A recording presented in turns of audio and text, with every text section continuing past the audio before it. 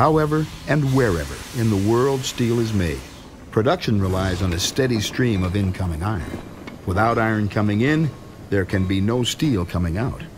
Ironically, this simple fact puts steelmakers at the forefront of the recycling movement. By supplementing or replacing traditional iron mill feed with recycled scrap steel, steel producers can drastically reduce both their costs and their impact on the environment. Because scrap steel has already run the mine to mill circuit, it requires much less processing than iron ore. This translates not only to cost savings for steelmakers, but can reduce their energy usage by more than 60%, slag production by 35%, wastewater production by 72%, and CO2, CO3, and SO2 emissions by as much as 86%. And those numbers are good for everyone. But while scrap steel is an essential ingredient of the steel industry, global supply chains of all types of scrap remain broken or unreliable. Because the natural life cycle for steel products ranges from 10 to 40 years, scrap supplies cannot be scaled in tandem with steel production. This puts steelmakers under extraordinary pressure.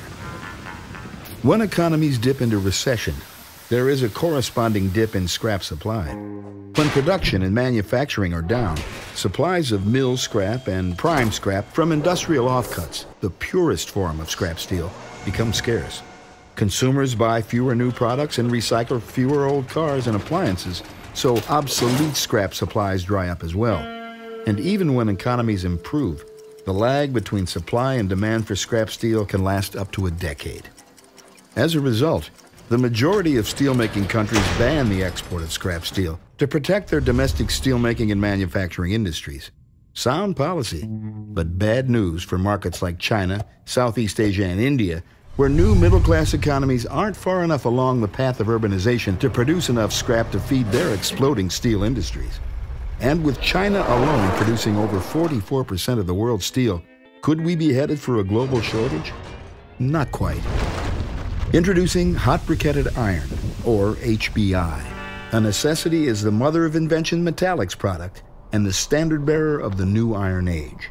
HBI is an excellent supplement for scrap steel and costs steelmakers at least 15% less than prime scrap.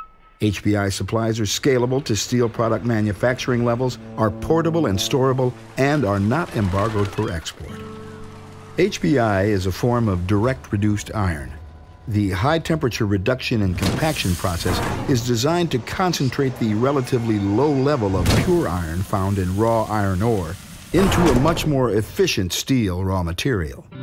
Unbriquetted DRI, also known as sponge iron, is often produced by integrated steel mills for use only on site.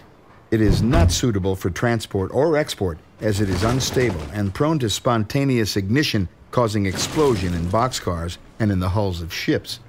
HBI, on the other hand, is stable, safe, and portable, and can be handled and stored like scrap steel.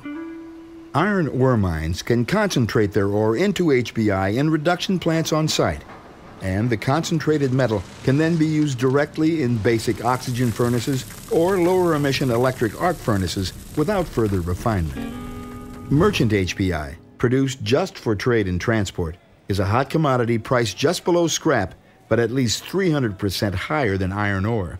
Raw ore varies in grade and composition, while HBI offers 90 to 94% total iron content and guaranteed chemistry, the gold standard for steelmakers. By the year 2020, the global scrap metal shortage is estimated to reach epic proportions. Not surprisingly, global demand for HBI is estimated to increase by 200% or 120 million tons annually over this same period.